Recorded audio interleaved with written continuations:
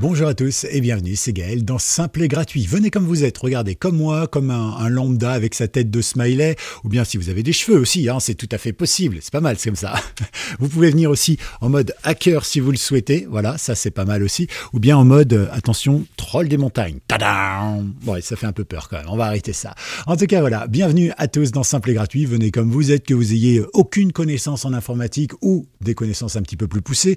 Attention, si c'est trop poussé, je pourrais rien vous apprendre, hein. mais bon, voilà, vous le savez, vous êtes les bienvenus et quand vous repartez après une vidéo, normalement vous repartez avec plein de bagages qui vous permettent de mieux comprendre le monde informatique. Aujourd'hui, on va parler de VPN. Encore? Ouais, encore. Parce que les VPN, c'est dans l'air du temps. Alors, je vous ai déjà fait une vidéo avec un VPN gratuit qui s'appelle Proton VPN.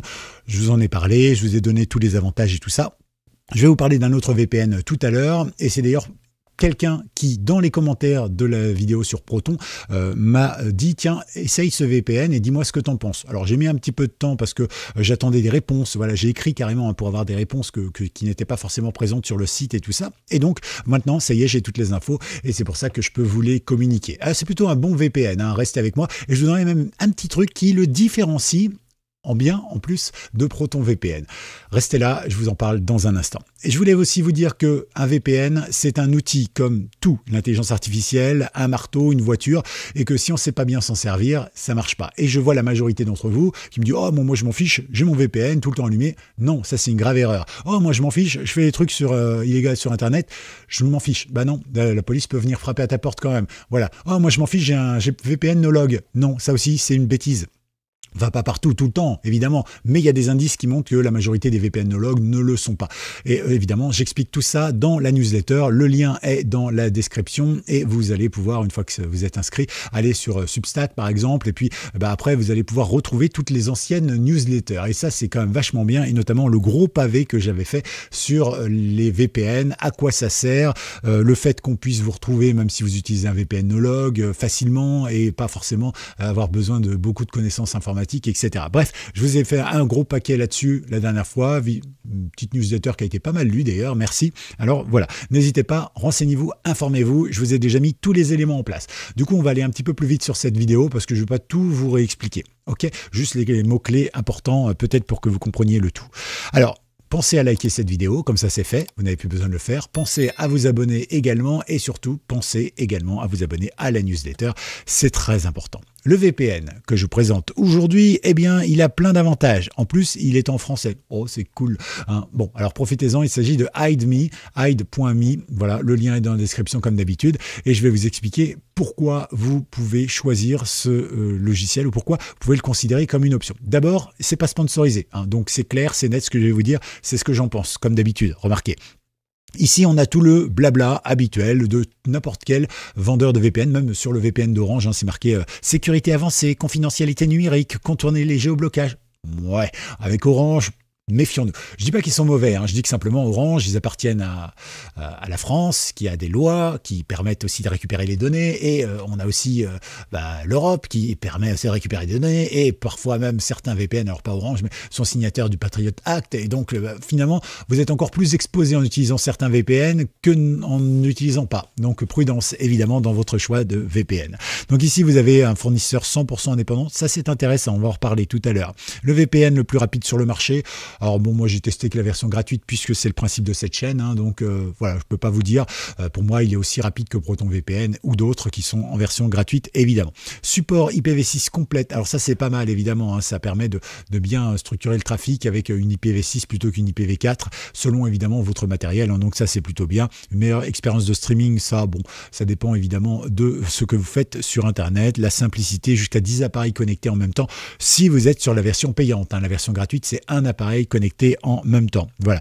Pas de journal VPN, donc euh, ça veut dire que lorsque vous connectez à un VPN, peu importe le VPN, vous allez euh, donc vous branchez votre VPN, clac, vous cliquez dessus, vous allez sur euh, tati.com pour un cadeau, et puis vous, cherchez un petit cadeau, tout ça sympa, vous commandez, vous vous déconnectez de votre VPN. Eh bien si le VPN est no log, comme ici par exemple, eh bien il est censé effacer les données, ce qui fait que si quelqu'un vient et dit bah, tiens qu'est-ce qu'il a fait machin sur internet, on ne sait pas. On n'a pas les historiques, on les a effacés. D'accord? Et puis vous avez aussi ceux qui ne sont pas nologues, qui effectivement conserveront les historiques et qui pourront les donner à qui veut bien payer.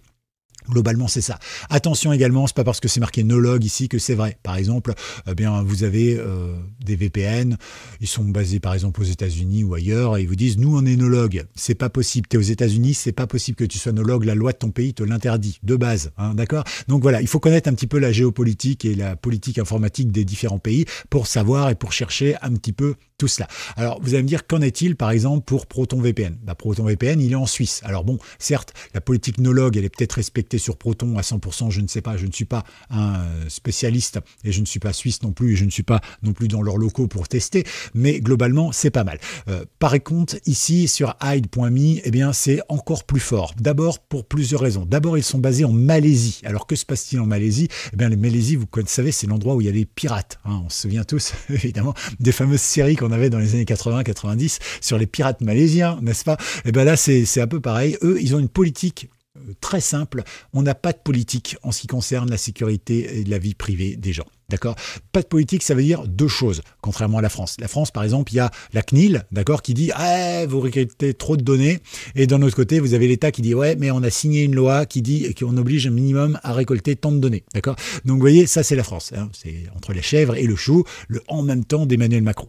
Et puis, d'un autre côté, vous avez également eh bien, la Malaisie qui dit Non, on n'a pas de politique. Pas de politique, ça veut dire que si une entreprise dit Bah, nous, on va euh, tout collecter, eh ben, ils peuvent tout collecter. Et puis d'un autre côté, vous avez aussi l'entreprise qui dit bah nous on va rien collecter. Du coup bon bah ils vont rien collecter. Voilà. Donc c'est à double tranchant mais c'est génial parce que du coup si effectivement ici ils vous disent no log c'est pas mal. Alors je sais pas si c'est marqué là euh, là dedans ou si je l'ai eu euh, en parlant avec les gens en anglais en plus de ça, eh bien, figurez-vous que, parce que je les ai pas mal questionnés et tout ça, eh bien, ils m'ont dit qu'ils avaient des experts indépendants, hein, des organismes indépendants qui étaient venus vérifier qu'effectivement, ils étaient euh, nologues. Et donc ça, c'est quand même quelque chose de vachement euh, sympathique, parce qu'effectivement, bon, moi, je suis pas là pour vous le vendre, hein, mais euh, voilà, c'est en Malaisie, donc ça coïncide avec quelque chose qui pourrait être nologue s'ils le veulent, contrairement à un VPN européen aux États-Unis, par exemple, où ce sera beaucoup plus limité que ça. Et puis ensuite, eh bien, vous avez euh, le fait que bah, justement ils aient fait des audits, audits, pardon, des audits, des audits avec des acteurs indépendants. Bon, après encore une fois, n'oubliez pas que tout ce qui est marqué sur une page d'accueil, hein, parce que vous allez me dire, mais sur Orange VPN c'est marqué pareil. Ouais, sauf que sur Orange VPN par exemple ou n'importe quel autre VPN, hein, eh bien ça c'est une page de vente, d'accord? Moi demain je vous vends ma perruque, bah je suis désolé, hein, je vais vous la vendre super perruque, euh, machin, truc, etc. Je vais la mettre sous son meilleur jour. Regardez par exemple quand vous allez euh, voir une pub pour un fast-food, bah, ça donne envie. Le sandwich, il a l'air beau, le steak, il a l'air gros, le, fromage, il a l'air onctueux et tout ça. Vous arrivez dans le truc, c'est un machin décomposé, euh, déstructuré, il n'y a même plus de steak, il n'y a plus rien. Le steak, il est au plafond, on a marché, il y a une trace de semelle sur le, pain. Enfin voilà, globalement, vous voyez, il y a une grosse différence entre l'acte de vente, la page de vente, donc, et euh, le fait du produit qu'on a. Et ben, pour le VPN, c'est un peu la même chose et c'est un peu pareil pour tous les produits d'ailleurs. Regardez, on paye des impôts, on s'attend à un minimum de services et finalement, on n'a pas, on pas de service public. C'est extraordinaire quand même. Hein. Voilà. Et là, ils sont même en train d'essayer de faire passer une loi comme quoi, bah, effectivement, quand on va faire un papier à la mairie, on va peut-être payer 2-3 euros parce que bah, on consomme du service public. Sauf que le service public, on le finance déjà avec nos impôts. Hein, mais ça, ils l'ont oublié. Mais bon, on va pas rester là-dedans. Hein. je pense qu'on n'est pas là pour parler politique. Mais globalement, vous voyez que ici, en analysant un petit peu, en se posant les bonnes questions de savoir où on est, quelle est la politique du pays et tout ça, on peut déjà obtenir pas mal de choses. Donc ça c'est bien. Ensuite, ils n'ont pas signé le Patriot Act, ils me l'ont certifié. Ils n'ont pas signé non plus le 5A, le 9A ou le 14A. Et là, je vois tous les Anglais qui saignent de l'oreille. Ne vous inquiétez pas, je vais traduire en français. Le 5 œil, le 9 œil et bien sûr le 40 œil. Alors à quoi ça sert évidemment? Eh bien tout ça, ce sont en fait des sortes de, allez, on va dire grosses sociétés de contrôle total d'Internet qui surveillent l'Internet mondial. Globalement, c'est ça. Hein. Donc bon, beaucoup de sociétés françaises de signes, américaines et ça. Et donc euh, voilà, il y a même des pays où ils n'ont pas le choix, ils sont obligés d'être signataires. Donc voilà, eux ils ne l'ont pas signé, c'est déjà ça. Vous retrouvez également ce qu'on appelle le Smart Guard. Euh, le Smart Guard, ça vous empêche. Alors ils disent que ça bloque la pub. Ouais, ouais, ouais. Mais c'est surtout que ça bloque un peu les, malveillants, hein, les euh, programmes malveillants, ou en tout cas ceux qui voudraient vous soutirer des choses. Attention, ce n'est pas un antivirus, ce n'est pas un pare-feu non plus, donc pensez à être bien à jour là-dessus quand même sur votre machine, c'est important. Et enfin, vous avez ce qu'on appelle le Sales Guard. Le Sales Guard, ça permet de contrôler un petit peu toutes les applications, parce que quand, par exemple, vous utilisez... Euh, un bloqueur de pub sur votre smartphone, par exemple Android, et que vous utilisez un bloqueur de pub sur euh, tout le smartphone, bah, quand vous êtes sur l'application YouTube ou sur l'application euh, Facebook, par exemple, bah, Ah, ça bloque pas. Bah non, parce que c'est directement d'application à application. Et avec le Filth Guard, ça marche, d'accord? Ça, ça bloquera, ça va gérer.